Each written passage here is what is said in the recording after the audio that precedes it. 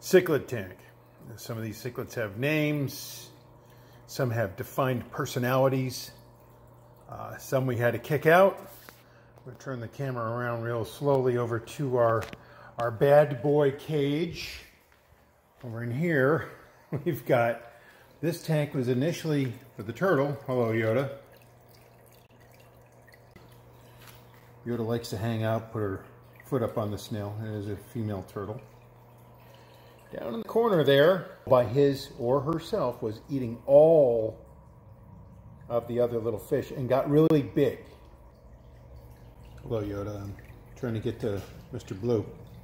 Now in here, in this little cave, Mr. Blue is a beautiful Malawi cichlid, but with a very mean disposition. That one is beating up on all the other cichlids. So this is the timeout tank. It's a little bit cooler than the other tank. And it is specifically for the turtle.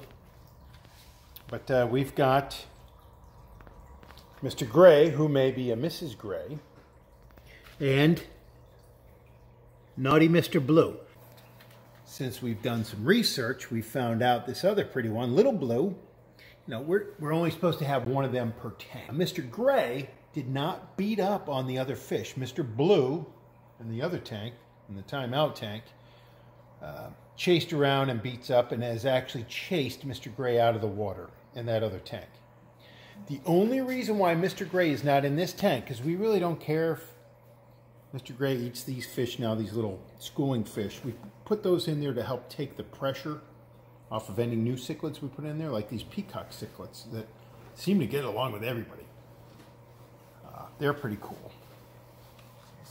But Mr. Gray had his eyes on, and since he's not as expensive fish as our little friend back here behind that tank, there we go, you can see her, the blue lobster.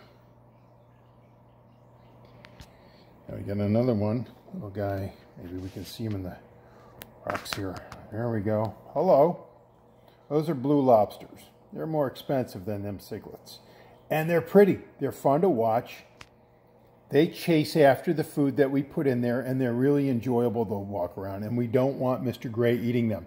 The other cichlids tend not to bother these guys. So we got one hiding behind the uh, little treasure chest there. There's Scuba Steve's hanging on. Actually, what do we call them? What are our... Uh, Hondu? this is Yondu because it's blue, and and that's Nebula, the girl, smaller claws. We got the two peacock cichlids, got little calico, Callie, Goldilocks.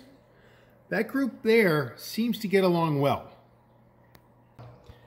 But Creamsicle hangs out with Wally. Wally the snail is just, you know, a wall climber and cruises all over, and Creamsicle tends to hang out with Wally the snail. Strange couple, they get along. Now, this is definitely a male right here. We, we, we, we bought the uh, blue one. We call him Sapphire, which is a girl's name. But Sapphire, or Slaty, has been digging all day long, moving those rocks out. Now, we've got a mix of gravel and coral in there.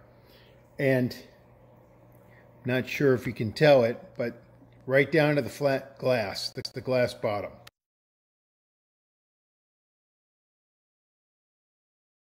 An interesting thing about our blue lobster friend here,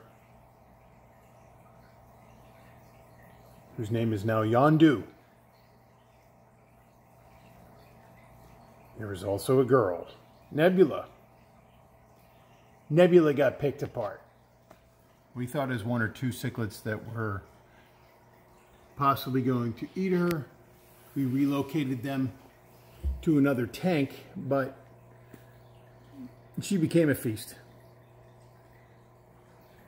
They picked her apart pretty quickly. Yondu was able to hide pretty well. And last night,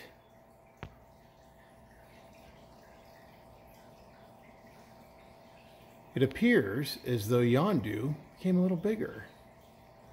Look in the back here. Yondu shed his skin. That's not the remains of Nebula. Nebula was a girl had much smaller claws. This guy's a dark blue today.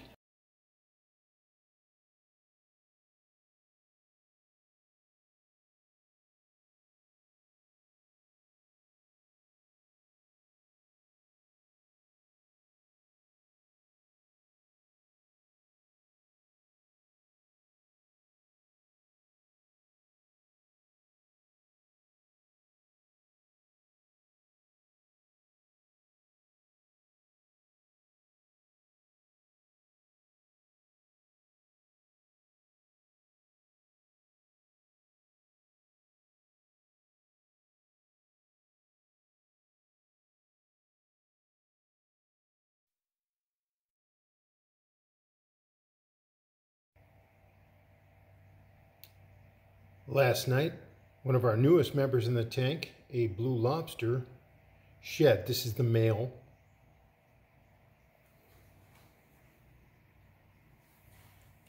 Actually, this is the perfect exoskeleton of the male. Pretty cool. It got shit. It's like finding a perfect snake skin, you know, a really big snake skin.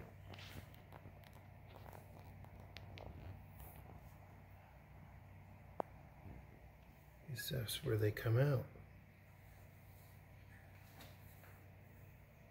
Antenna and all. Pretty cool.